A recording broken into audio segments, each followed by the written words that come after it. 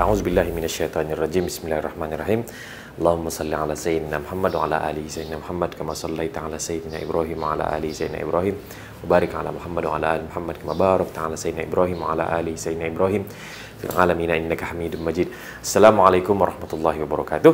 Salam sejahtera pada rakan-rakan yang saya doakan dan yang saya hormati sekalian. Uh, tuan-tuan dan puan hari ini saya ingin berkongsi dengan tuan-tuan dan puan tentang ramah. Berapa ramai antara kita yang pernah berjumpa ataupun selalu berjumpa orang yang peramah ataupun kita selalu mendapat respon bahawa wah bagusnya tuan adalah seorang yang peramah dan mudah mesra. Tuan-tuan dan puan, hari ini saya ingin berkongsi dengan anda satu tips macam mana nak jadi seorang peramah. Ha, kenapa kita nak jadi seorang peramah ni? Sebab selalunya orang yang peramah ni orang suka, betul? Orang yang peramah ni selalu uh, mudah didampingi dan orang yang peramah ni insya-Allah rezekinya terbuka dengan luas.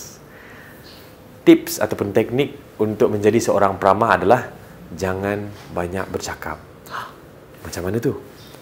Berapa ramai antara kita yang misconception berkenaan dengan peramah?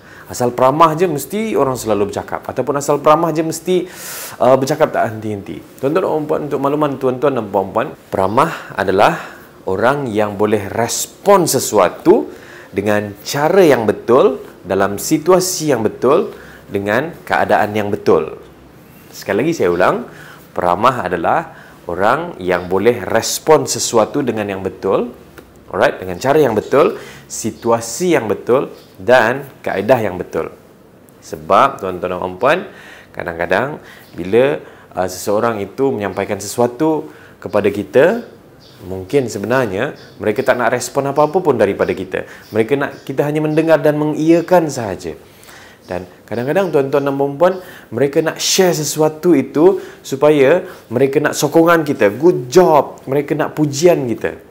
Tapi kadang-kadang tuan-tuan dan puan bila mereka bercakap sesuatu dan kita juga memperkatakan sesuatu, ianya bukan adalah satu perkara yang uh, dianggap sebagai peramah. Justru tuan-tuan dan puan, ramah adalah bagaimana kita respon sesuatu itu dengan cara yang betul, situasi yang betul dan kaedah yang betul.